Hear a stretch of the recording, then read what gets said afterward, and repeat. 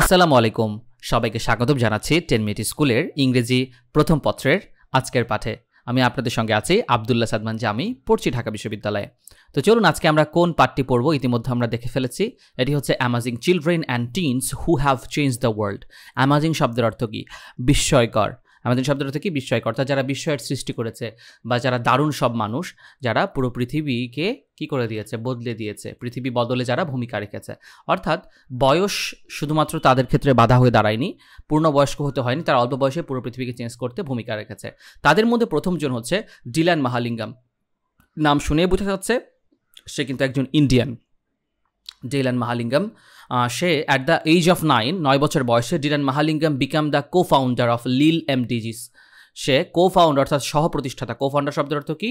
সহ প্রতিষ্ঠাতা হয়েছিল লিল এমডিজিস লিল মানে হচ্ছে লিটল এমডিজিস মানে হচ্ছে মিলেনিয়াম ডেভেলপমেন্ট গোল জাতিসংঘের দুটো এরকম এমডিজি আর এসডিজি নামে জাতিসংঘের দুটো পদক্ষেপ আছে। একটা হচ্ছে মিলেনিয়াম ডেভেলপমেন্ট গোল একটা সাস্টেনেবল ডেভেলপমেন্ট গোল তো এই বিষয়গুলো তো মূলত রাষ্ট্রীয় পর্যায়ে অনুসরণ করা হয়।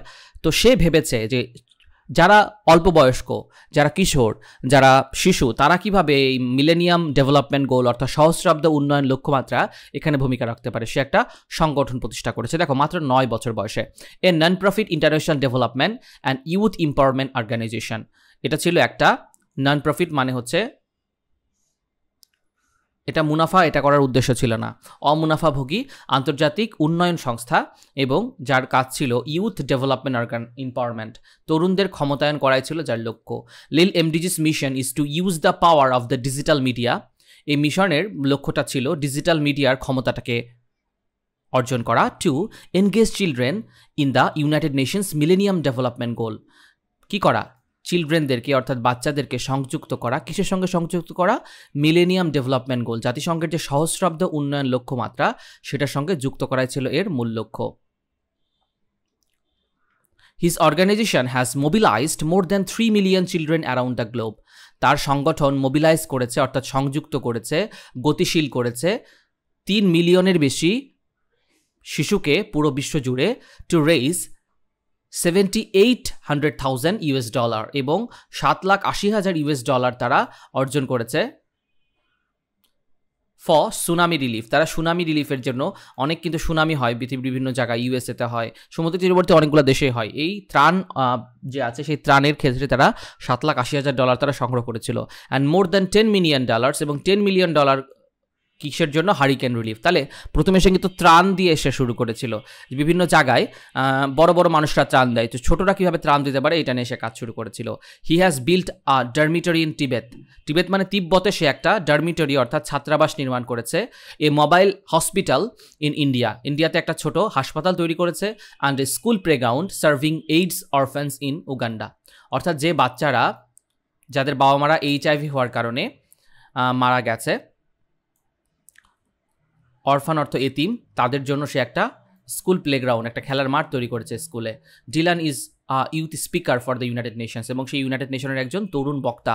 সে এত এত ভার্সেটাইল কাজ করেছে পুরো বিশ্ব জুড়ে, দেখো অল্প বয়সে তাকে জাতিসংঘ কি করেছে? যেহেতু এমডিজিটা জাতিসংঘের একটা প্রোগ্রাম তাই জাতিসংঘ তাকে ইউথ স্পিকার বা তরুণ বক্তা হিসেবে নিয়োগ দিয়েছে। এরপরে আমরা বলব আলেকজান্ড্রা অ্যালেক্স স্কট। একটা বাচ্চার ছবি দেখতে পাচ্ছ, দারুণ সুন্দর একটা একদম দেব শিশুর মতো দেখতে। আলেকজান্ড্রা, অ্যালেক্স স্কট, এই বাচ্চাটা was born in Connecticut in nineteen ninety six উনিশশো ছিয়ানব্বই সালে আমেরিকার কানেটিকাট অঙ্গরাজ্যে তার জন্ম হয় and was diagnosed with neuroblastoma neuroblastoma হচ্ছে মস্তিষ্কের একটা ক্যান্সার, যেটা বাচ্চাদের অল্প বয়সে হয় টাইপ অফ চাইল্ডহুড ক্যান্সার একদম জন্মের সময় থেকে সে ক্যান্সারে আক্রান্ত ছিল।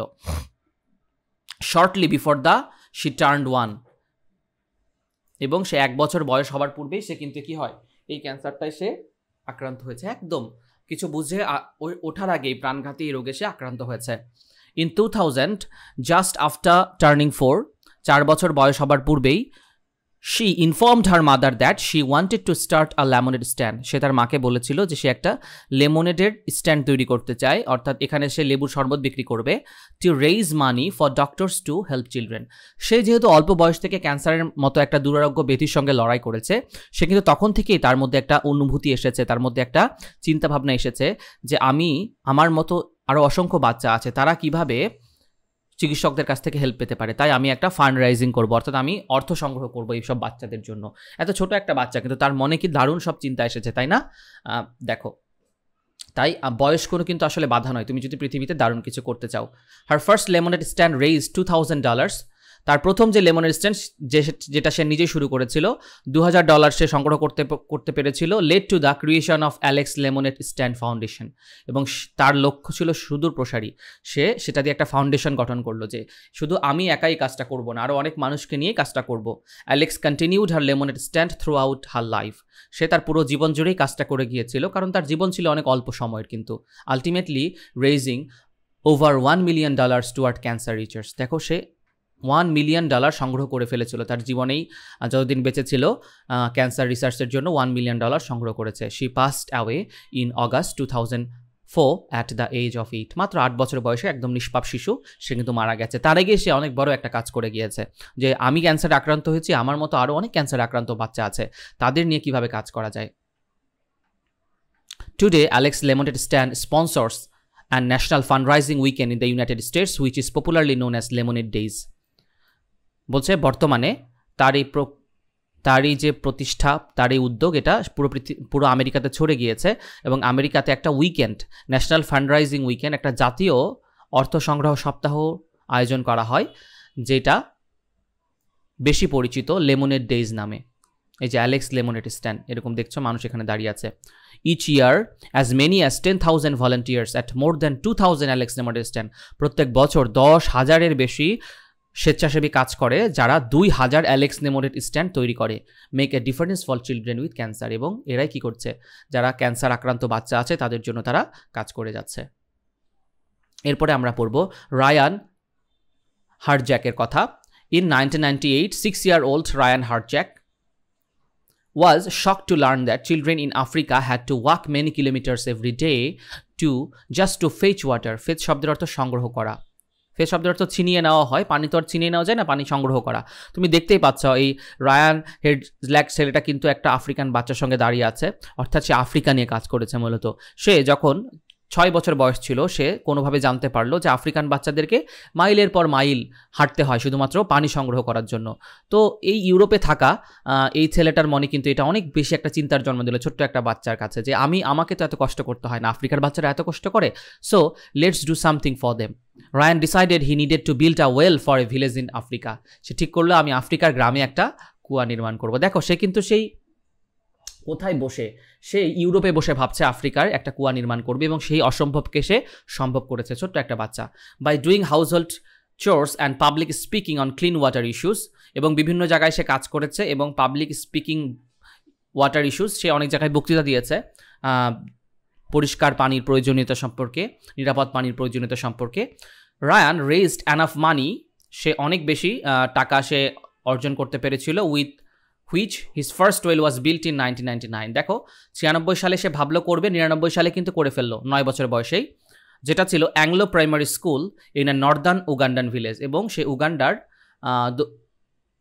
দক্ষিণে সে একটা কিন্তু তার প্রথম কুয়াটা সে নির্মাণ করেছে। আমরা ছবি দেখতে পাচ্ছি, সে কুয়ার সামনে সে বসে আছে। এখান থেকে শিশুরা কি পানি সংগ্রহ করছে। Ryan's determination led to Ryan's well foundation এবং তার এই দৃঢ় প্রতিজ্ঞা একটা ফাউন্ডেশনের জন্ম দিল। তাহলে তুমি যদি সাহস করে কোনো কাজ শুরু করো, সেটা কি ধীরে ধীরে বৃহৎ আকারে রূপ নেবে? Which has completed six hundred sixty seven projects in sixty countries যেটা ষোলোটা দেশে ছয়শো সাতষট্টিটা প্রজেক্ট একটা দিয়ে শুরু করে সে ছয়শো সাতষট্টিটা প্রজেক্ট কমপ্লিট করেছে bringing access to clean water and sanitation to more than seven hundred and forty lakh thousand people সে সাতশো, সাত লাখ চোদ্দ হাজার মানুষের জন্য সে পরিষ্কার পানি নিরাপদ, পানির ব্যবস্থা এবং স্যানিটেশনের ব্যবস্থা, পয় নিষ্কর্ষণের ব্যবস্থা করতে সক্ষম হয়েছে। বিশাল বড় একটা পদক্ষেপ নিয়েছে। এরপরে আমরা পড়ব কেটি স্ট্যাগলিয়ানো একটা ছোট্ট বাচ্চা যার নাম কেটি স্ট্যাগলিয়ানো দেখো, বিশাল বড় একটা ক্যাবেজ মানে বাঁধাকপি সে ধরে আছে। তো এই বাঁধাকপি নিয়ে আসলে তার কাহিনী, চলো আমরা দেখি কাহিনীটা আসলে কি। এবং এটা মোটামুটি রিসেন্ট একটা issue in two thousand eight nine year old Katie Stagliano দু হাজার আট সালে নয় বছর বয়সী কেটি স্ট্যাগলিয়ানো ব্রট আ টিনি ক্যাবেজ সে একটা ছোট্ট বাঁধাকপি সিডিং হোম ফ্রম স্কুল সে একটা স্কুলে যাওয়ার পর থেকে একটা ছোট বাঁধাকপির চারা নিয়ে আসলো। As she cared for her cabbage এবং সে সেটার অনেক যত্ন করেছিল it grew to forty pounds এবং এটা বিশাল বড় হলো, চল্লিশ কেজির মতো, বিশাল বড় সাইজ ইউরোপে কিন্তু ইংল্যান্ডে আমরা দেখি যে অনেক বড় বড় বাঁধাকপি থাকে জন্ম নেয় ওরা। Katie donated her cabbage to a soup kitchen সে কী করল? অত বড় বাঁধাকপিটা সে একটা স্যুপ কিচেনে স্যুপ কিচেন হচ্ছে যেখানে মানুষদেরকে বিনামূল্য খাওয়ানো হয় লঙ্গর খানা বাংলায় যেটাকে বলা হয়। Where it help to fed more than two hundred seventy five people দুইশো পঁচাত্তর মানুষ কিন্তু এইটা দিয়ে স্যুপ খেতে পেরেছিল, তার একটা বাঁধাকপি দিয়ে। তো এটা দিয়ে ক্যাটির মনে একটা ধারণা জন্মালো যে আমি একটা বাঁধাকপি দিয়ে যদি এত কিছু হয়, তাহলে আমি অনেক বড় একটা ফার্ম করলে কিন্তু আরও অনেক মানুষকে খাওয়াতে পারব। সেটাই এখানে আছে। Moved by the experience of seeing how many people could benefit from the donation of fresh produce to soup kitchen সে, এই যে অভিজ্ঞতা হলো তার, যে সে কত বেশি মানুষকে সাহায্য করতে পারে এই ডোনেশন থেকে fresh produce soup kitchens Katie decided to start vegetable garden সে কী ঠিক করল? আমি এখন একটা বাগানই করব। আমি এর আগে শুধু একটা বাঁধাকপি দিয়ে এত মানুষকে হেল্প করতে পারলাম, তাহলে আমি একটা বাগান তৈরি করি and donate the harvest to help feed people in need এবং সে, যারা দরিদ্র, অসহায় মানুষ, তাদের জন্য আমি শস্য উৎপাদন করব আমার এই উৎপাদিত পণ্যগুলো। টুডে কেটিস ক্রপস তার একটা সংগঠন আছে যার নাম কেটিস ক্রপস তারা ডোনেট করে, দান করে thousand of pounds of fresh produce from numerous gardens to organise that help people in need সে প্রত্যেক দিন কয়েক হাজার পাউন্ড তার এই খামারগুলোতে উৎপাদিত হয় এবং সে যে যে মানুষরা না খেয়ে আছে তাদের জন্য সেটা সে সরবরাহ করে। একটা নিঃস্বার্থ কী করে? সে মানুষকে সেবা করছে নিজের উদ্যোগের, ছোট্ট একটা উদ্যোগের মাধ্যমে। এরপরে যে মেয়েটার ছবি দেখছ, অ্যানে ফ্র্যাঙ্ক, এ কিন্তু পৃথিবীর সবচেয়ে বেশি বিকৃত একটা বই হ্যাঁ আনা ফ্রাঙ্কের ডায়েরি, সেই বইটার সে লেখিকা। এত ছোট একটা বাচ্চা এবং অল্প বয়সে মারা গেছে কারণ সে যে নাজি হত্যাকাণ্ড, নাজি বাহিনীর হত্যাকাণ্ডের সে শিকার হয়েছিল, হলোকাস্ট বলা হয়।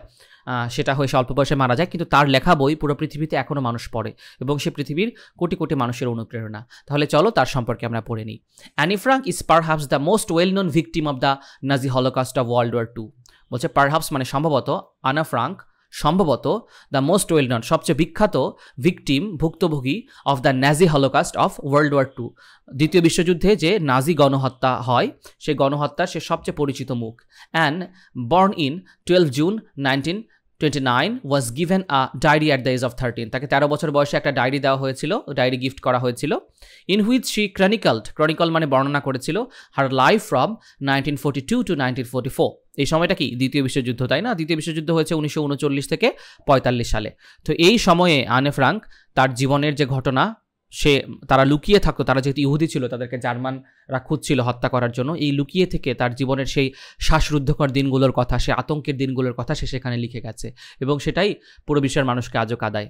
During this time and spend two years in hiding with her family এই সময়টাতে সে দুই বছর তার পরিবারের সাথে লুকিয়েছিল।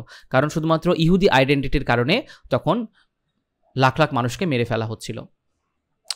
Is in Nazi occupied Amsterdam in a secret annex with four other Jews সে কিন্তু জার্মানিতে থাকতো না, কোথায় থাকতো? আমস্টারডাম আমস্টারডামে থাকতো নেদারল্যান্ডসের বাট সেখানেও কিন্তু জার্মানির, জার্মানি দখল করে নিয়েছিল এবং জার্মানির লোকজন যারা, তারা নাজিরা তাদেরকে খুঁজছিল। আরও চারটা জিউসের সাথে সে থাকতো একটা একটা গুপ্ত স্থানে। Betrayed and discovered in nineteen nine forty four উনিশশো চুয়াল্লিশ সালে বিশ্বাসঘাতকতার শিকার হয়ে তাদেরকে খুঁজে পায় এই হত্যাকারীরা and he was sent to Bergen Belsen concentration camp তাকে একটা কনসেন্ট্রেশন ক্যাম্প বন্দি শিবিরে পাঠানো হয় where she died of typhus in nineteen forty five এক বছর পরই সে টাইফাস রোগে আক্রান্ত হয়ে সেখানে মারা যায়। And his father Otto Frank তার বাবার নাম ছিল Otto Frank was the only occupant of the secret annex to survive the war যে ওই চারজনের মধ্যে একমাত্র সেই সেখান থেকে বেঁচে ফিরতে ফেরেছিল সে পরবর্তীতে ডায়েরিটা প্রকাশ করে। In nineteen forty seven he published Anne's diary as the diary of a young girl এটার নাম ছিল the diary of a young girl এখনও তোমরা গুগলে সার্চ দিলে দেখবে, এটা নিয়ে তোমার কত লেখালেখি হয়েছে, কত সিনেমা হয়েছে। And is occupant of our internment a well her deep believe in humanity has become one of the world's most widely read books পুরো পৃথিবীতে সবচেয়ে বেশি পঠিত বইয়ের মধ্যে একটা হয়েছে, কারণ এই বইতে সে এত কষ্ট, এত দুঃসহ যন্ত্রণার মধ্যে থাকার পরও সে আশাবাদ তার মানবতা নিয়ে তার আশাবাদের কথা সে কিন্তু ব্যক্ত করেছে। অ্যান্সার দ্য ফলোইং কোশ্চিন চলো আমরা কোশ্চেনগুলো অ্যান্সার করি। What are some examples of the humanitarian services provided by lil M আমরা কিছু উদাহরণ কি কি উদাহরণ হতে পারে? হিউম্যানিটেরিয়ান সার্ভিস তো অনেক ধরনের দিয়েছিল লিল এমডিজিস তাই না? আমরা যদি মুখে মুখে বলি, মনে করার চেষ্টা করি, তারা কি করেছিল? তারা হারিকেন অ্যান্ড সুনামি রিলিফদের জন্য কাজ করেছে। তারা টিবেটে একটা ডার্মিটরি নির্মাণ করেছে, ইন্ডিয়াতে একটা মোবাইল হসপিটাল নির্মাণ করেছে উগানটাতে শিশুদের জন্য প্লেগ্রাউন্ড নির্মাণ করেছে, অর্থাৎ অনেক ধরনের হিউম্যানিটেরিয়ান সার্ভিস কিন্তু তারা প্রদান করেছে। এরপরে why did Alexandra Scott want to start a lemonade stand when she was only four এখানকার উত্তর হিসেবে তুমি লিখতে পারো Alexander Scott was a cancer patient so he had to she had to actually সে মেয়ে she had to go through various painful cancer treatment and she realized that she need she needed to help other cancer patient child around his country that's why he wanted to start a lemonade stand to fundraise that can help the other cancer patient child অর্থাৎ Alexander Scott মাত্র যেহেতু এক বছর বয়সে ক্যান্সারে আক্রান্ত হলো সে চার বছর বয়সে একটু যখন বুঝতে শিখলো, সে কিন্তু একটা লেমোনেট স্ট্যান্ড করতে চেয়েছিল, তার মাকে প্রস্তাব দিয়েছিল। এই বিষয়টা সে কেন করল? ওই বয়স, বয়সে সে বুঝতে পেরেছিল যে ক্যান্সার চিকিৎসাটা অনেক যন্ত্রণাদায়ক এবং অনেক কঠিন এবং অনেক ব্যয়বহুল একই সঙ্গে। তাই আরও যত বাচ্চারা তার মতো ক্যান্সার আক্রান্ত, তাদের জন্য সহায়তার জন্য সে এটা করতে চেয়েছিল। এটা সুন্দরভাবে লিখলে খুব ভালো মার্ক গেইন করতে পারবে। What compelled Ryan Hreljac to make wells for the people in Africa? তাকে কোনটা প্রতিজ্ঞাবদ্ধ করল আফ্রিকাতে মানুষের জন্য কূপ খনন করতে বা সেখানে পানির ব্যবস্থা তৈরি করার জন্য? Because he believe that people in Africa were in deep crisis of water and sanitation children in Africa at her at his age has to work a lot to fetch some drinking water that's compel Ryan হেজরাক to make well in the people in Africa এটা লিখে দিতে পারো।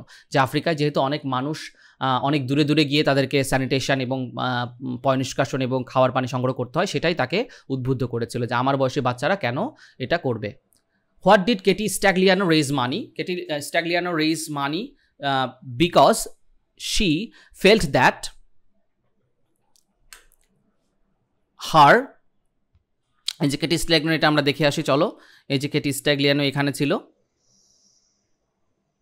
Katie স্ট্যাগলিয়ানো সে মূলত একটা soup kitchen করার জন্য কি করেছিল? সে এই টাকাটা সংগ্রহ করেছিল। When was the diary of younger publish nineteen forty seven তারপরে আমরা কিছু জিনিস নিজেরা নিজেরা আলোচনা করব। এই পাঁচটা চিলড্রেনের মধ্যে কে তোমাকে সবচেয়ে বেশি ইন্সপায়ার করেছে? আমার কথা যদি বলতে বলো, আমাকে সবচেয়ে বেশি ইন্সপায়ার করেছে মূলত অ্যানা ফ্রাঙ্ক। আরেকটা, ওই যে ক্যান্সার পেশেন্ট বাচ্চাটা, আলেকজান্ডার স্কট, সেও আমাকে ইন্সপায়ার করেছে। বাট অ্যানা ফ্রাঙ্কটা অ্যানা ফ্রাঙ্কের প্রভাব পুরো বিশ্বজুড়ে অনেক বেশি আছে, কারণ সে একটা গণহত্যার শিকার হয়েছিল কিন্তু। কারণ এই যন্ত্রণাটা আরও অনেক মানুষের। তাই সেটা তাকে সবচেয়ে বেশি আমাকে ইন্সপায়ার করেছে। তোমাদের এই পাঁচটার মধ্যে যে ইন্সপায়ার করেছে, সেটা তোমরা লিখে দিতে পারো। এরপরে তুমি এমন কোনো ছেলে মেয়েকে জানো কি না যারা এক্সেপশনাল হিউম্যানিটেরিয়ান সার্ভিস দেয়? তাদের বয়স কত? এটা নিয়ে তোমরা লিখতে পারো, আলোচনা করতে পারো। এগুলো নিজেরা নিজেরা করে ফেলবে। এরপরে একটা ম্যাচিং আছে match the word phrases in column A with column B এটা আমি তোমাদেরকে আলোচনা করে দিচ্ছি। প্রথমে যেটা আছে লেভারেজ কি আছে? লেভারেজ লেভারেজ শব্দের অর্থ কি? লেভারেজ শব্দের অর্থ হচ্ছে inspiration of large groups without any legal process এটা হবে না। তারপরে আছে, উপরে আছে to use of stain desired effect of result এটা এই পারে আছে আসলে। এই পারে আমরা খুঁজে বের করি। Quality that makes you something that tangible proof of evidence এটার উত্তর হবে to use a quality or advantage of stain desired effect এইটা। পরবর্তীতে, পরবর্তী আছে লেমনেড লেমনের উত্তর তো আমরা সবাই পারব। Lemon, a drink made of lemon juice এরপরে আছে ডিটারমিনেশন ডিটারমিনেশন মানে কোনো কিছু করার প্রতিজ্ঞা, তাই না? ডিটারমিনেশন এখানে হবে একটা কোয়ালিটি ডিটারমিনেশন অবশ্যই। তাহলে এখানে a quality that makes you continue trying to do achieve something that is difficult concentration camp কোনটা?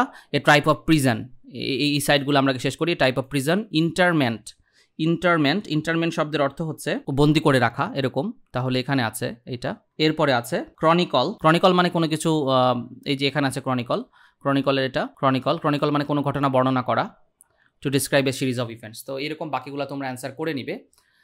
আজকে এখানেই শেষ করছি। ক্লাসটা কেমন লাগল আমাদেরকে জানিও। আশা করছি বুঝে বুঝে পুরোটা পড়েছি। পুরো বিশ্বে যে চিলড্রেনরা আমাদেরকে ইন্সপায়ার করেছে তাদের নিয়ে আমরা পড়লাম। তোমাদের সঙ্গে খুব দ্রুত আবার দেখা হবে নেক্সট ক্লাসে আল্লাহ হাফেজ। স্কিল আর পড়ালেখার জন্য যা কিছু প্রয়োজন। একটি অ্যাপেই পাওয়া যাবে সকল সলিউশন টেন মিনিটস নিয়ে যে কোনো জিজ্ঞাসায় কল করুন one six nine one zero